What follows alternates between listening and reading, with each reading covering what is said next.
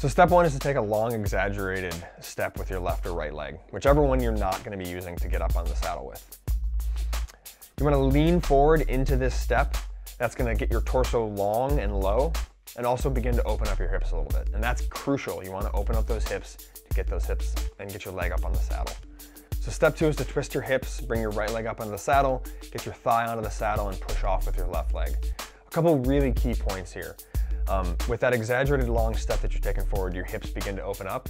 And here, we're continuing to open up the hips and aiming for that leg onto the saddle and really pushing off with the left leg. It's not a jump, it's a push off. It's a very common issue. It's also really important as you're doing this remount, aim for the thigh, right? You're twisting the hips, you're getting that extra length, you're getting the hips up and you're aiming for that inner thigh, about halfway up your thigh. The third step is to slide on the saddle and square up your hips with the saddle. This is not a very critical part for form, but it's really important for your balance. You wanna make sure that you're untwisting your hips, untwisting your torso, and letting your hips come square to the, to the saddle before you start clipping in, and really get your balance at this point. That's really important. So step four is to find your pedals. This is super simple. You're just looking for those pedals, clipping in as fast as you can, and starting to pedal away.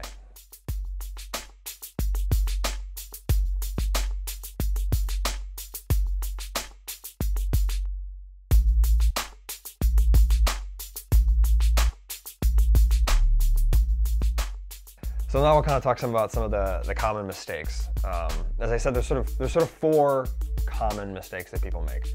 The biggest one is that people think of a remount as a jump onto the bike. If you're thinking about it like a jump, you're gonna do it wrong every time. If you're thinking about it like a, like a jump, you're gonna crush your crotch. Don't think about the remount like you're jumping onto your bike. Think about it like an exaggerated long step onto the bike. Another common mistake people make all the time is not twisting their hips. It's really easy to keep those, those hips and torso square as you start to jump onto the bike. And if you do that, you're not gonna get the length and you're not gonna get the height you need to get onto the saddle without jumping. Another big common mistake people do is not aiming for their thigh.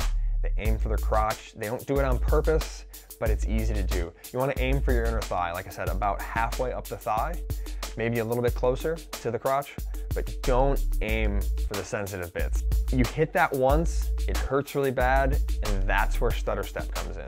The fourth big common mistake that everybody wants to know how to solve is the stutter step. And I say the stutter step because everybody knows about it.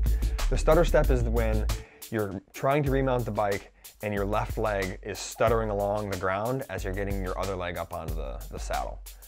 So how do you get rid of the stutter step? The quickest way to get rid of the stutter step is to practice these skills, practice this drill of getting onto the bike at an incredibly slow pace. I'm talking walking pace, right? So walk next to your bike, take a slow, exaggerated step forward with your left leg, and as you do, lift your right leg up onto the saddle very slowly.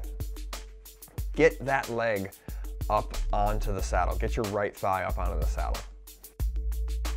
When it's sitting on the saddle, slowly slide onto the saddle. You can do this at a walking pace find your pedals and pedal away. Do that at that slow pace and then begin to do it a little bit faster, but you always wanna be doing it slow enough that you can do it correctly. We're trying to practice the correct form. If you jump into doing it super fast, that muscle memory that you have, that incorrect muscle memory takes over and you're gonna do it wrong and you're gonna get that stutter step. So go slow and you can start ramping up the speed. And it's practice, practice, practice these slow motions.